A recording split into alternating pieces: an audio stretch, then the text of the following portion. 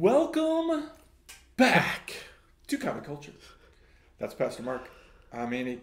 Hey, we're talking about last week. We were talking about what if God uh, actually stopped our church service and said, "Hey, you, you're getting it wrong. Stop it. Let's get it right. Let's get it right." Right now, uh, we were in uh, 2 Samuel chapter six, and we we got to the part where God stops David's worship. God stops the whole the whole parade. Man, just boom, we're done. Uzzah dies, right? Uh, not because he was intentionally doing something wrong. He was actually set up, right? He was walking beside the cart and he went to stabilize it because it was rocking and he probably didn't even know it was supposed to be on poles. Maybe he did, but he paid the price, right? And then you read to us that David reacted to God. I, I love I love this because I think it would be me. If if God stopped our worship service, do you think our first reaction would be to bend our knees, humble ourselves, and respond to God? Or would it be more like David, where we get angry, we throw a fit, and we stop David- worshiping? They would say, "Hey, it's not in the order of service," which I don't put in. I don't put that out anymore because I'm like, Right. you know why I don't? Because I'm like, maybe God is going to do something different. what if God did do something different, right? But here, but David's reaction wasn't to humble himself and seek God and figure out what was wrong. His reaction was he got angry, and then he I'm doing this for you, God. exactly. He refuses to go on. He refu- he's like done, done with the parade. Not going to try to figure out how to get it right. What happened? We're just done. Right? I wonder if there are churches that would do that. If the if the worship service got stopped by God and interrupted, would we a just try to press through and run over God? That would be a bad idea, I think. Right? Would we be just be like, okay, we're done for today. It's just not going to work. The enemy's just attacking. He's just working really hard, and we're just done. Like, it's just not going to happen today. Or, or is there a chance that we would actually respond to God, humble ourselves, seek His face, repent, and move forward? Which one of those do you think would happen in your church, Pastor Mark? Probably we would not stop. Say, God, what's going on here? We would be like, wait a minute here. This isn't. I got to be out of here because I'm. I want to beat the people from your church to the restaurant. See, now I would be much more spiritual in nature, right? I would immediately assume that it was attacked by the enemy and we need to just press through. That's it. We need to press on. Don't let him stop. That's us. right. We are not stopping. We're marching Keep to singing. Zion. That's right. Keep singing. We're going. Right. Right. And and then Care if your Uncle Pecos and your guitar string broke off. I remember a story about that. Wasn't that Balaam and the donkey, where he keeps trying to make the donkey go forward, Beating him like a make him rented forward, and then finally the donkey has to talk to him. Now, I'm not saying that there are any donkeys in my church, but somebody I have a feeling would probably talk to me. At some point, somebody would be like, Andy, can't, can't you see this is a God thing? I would hope, right? But but I, I tell you, we, we would immediately probably assume we're being attacked. Mm-hmm. Right? We're being attacked. The enemy doesn't want, man, we are worshiping so great, the enemy doesn't want us to keep moving forward. So we got to do it. Man, the pastor must be going to bring the greatest sermon ever right? Like, and, and the enemy just stopped us, right? But there is that third option of what if we stopped, humbled ourselves, and sought God, right? So if we look at Well, unfortunately, we shouldn't have to stop and seek God. Hopefully, we're doing it from the beginning. yes, that's the whole point, right? If we get it right, we don't have to. we- is This did I just did I just Did you just steal it? I just steal? no, we just whole- think alike. We just think alike. You're just you're on the same. okay, listen. I let you read last time, so let me let you finish up the story. That would be appropriate. I'm still trying to reel from us thinking alike. I know. there ain't a person on this planet that really wants to be in this brain. Really, truly. Right? That- That's just Okay. All right, verse 12. Here we go. Finish up this section, 12 through uh, 15. Oh, am That's I? you. Am I? You're okay. on. And and we're back. Now King David was told, Yeah. "The Lord has blessed the house of Obed Edom and everything he has because the ark of God, uh, because of the ark of God." So David went down and brought up the ark of God from the house of Obed Edom in the city of to the city of David with rejoicing. When those who were carrying the ark of the Lord uh, had taken six steps, he sacrificed a bull and a fattened calf. David, wearing a linen ephod, danced before the Lord with all his might. while he and his entire house of Israel brought up the ark of the Lord with shouts and the sound of trumpets. All right, so beautiful. So so here's what happens, and this is a frequent thing within church, right? There are those churches, there are those people that actually respond to God. God blesses. Everybody else watches and goes, "Oh wait, no, no, no, no, no! I want to be a part of this. Like I want to do it. I want to do it now. Come on, God, I want to do it now." It's funny growing up uh, how many times that happens to you as a kid, right? You don't want anything to do with something until you see the fun that people are having, and Yep. you're like, "Oh, I want to do it now. I want to do it now. Please, mommy, can I do it now?" Yeah. right? Uh, this is the this is the same thing. God blesses, right? The house. What God wanted was for David to humble himself and do it right. But David didn't. He threw a hissy fit and he left the ark, and somebody got blessed because the Holy Spirit didn't go anywhere. Holy Spirit was right there, ready to work, ready to do things. And and so a, a household gets blessed. David sees that and goes, "Okay, now I'm in."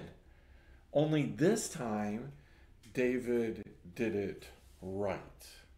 Right? This time, he did it the way that it was supposed to be, right? People were bearing the ark, carrying it on poles like they were supposed to, not putting it in a cart. And David's worship was different in nature. It was now what I want to say obedient worship. There is a difference between sincere and obedient worship and just worship.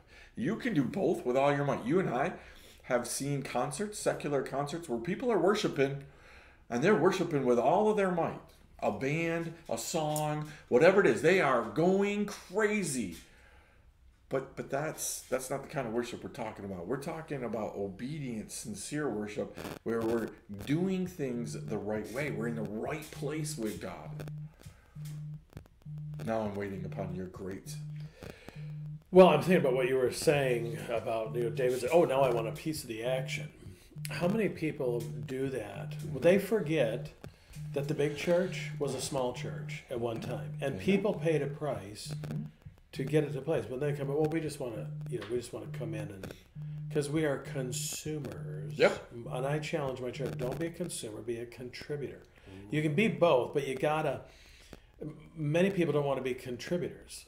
They just want to come in, be entertained, or have it done for them. I don't really want to put anything into this. Yep. Yep. I remember one year that uh, someone, you know, someone said, "We're gonna have VBS." I said, well, "Okay, but let's put up the list and see what kind of response we get." We had two people sign up to help with it, and I said, "Well, then we're not having it." And I had one dear saint say, "Well, we got a VBS." We have. I said, "Well, how many? I mean, are you going to commit for the week?" Well, I can commit to two days. I said, "You can't have VBS committing to two days. You got to commit to the whole thing."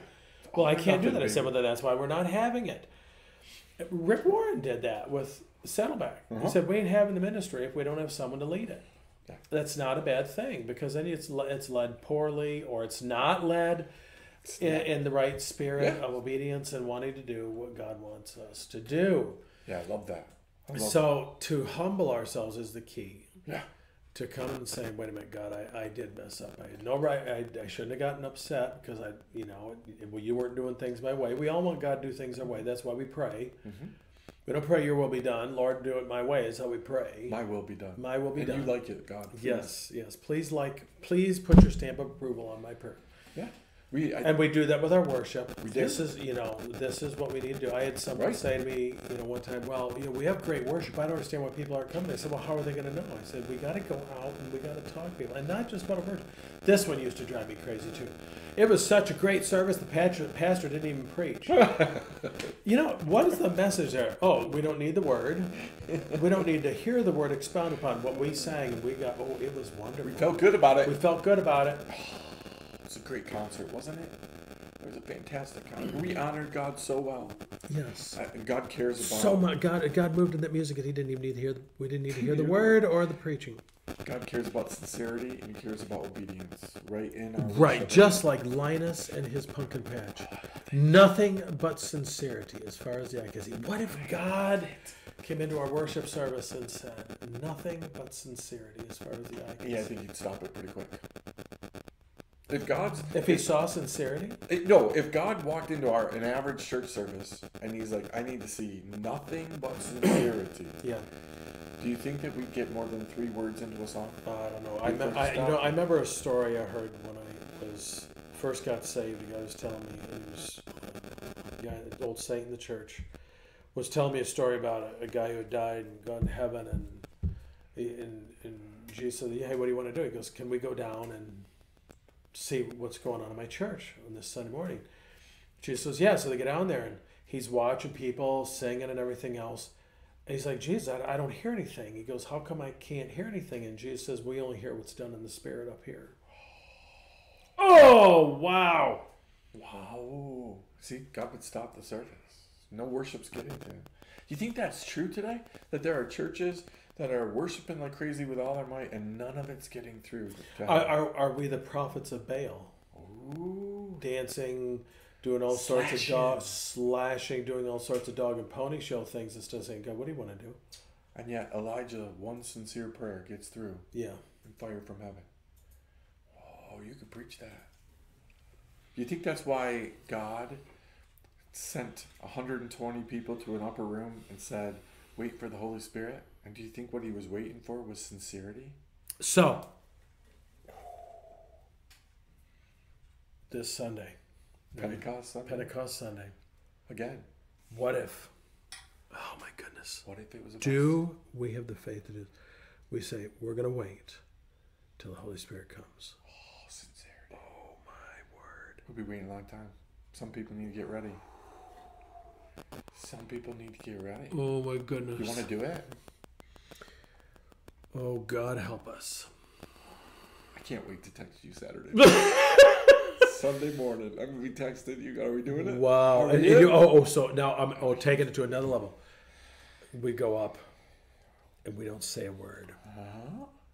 We don't say a word, and see if anybody knows it's Pentecost Sunday, because we usually don't emphasize Pentecost. Yeah. We just wait.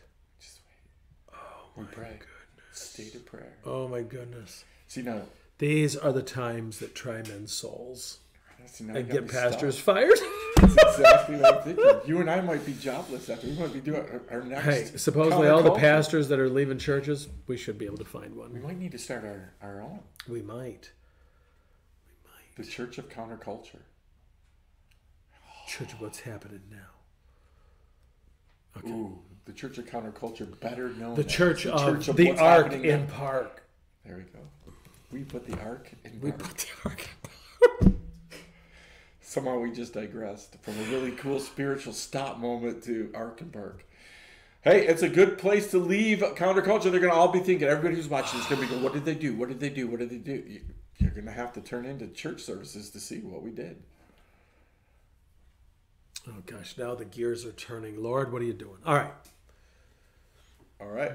Listen, it should be an exciting next counterculture Right. As we we check out and see what it is that God did. We'll see you next time. Grace and peace.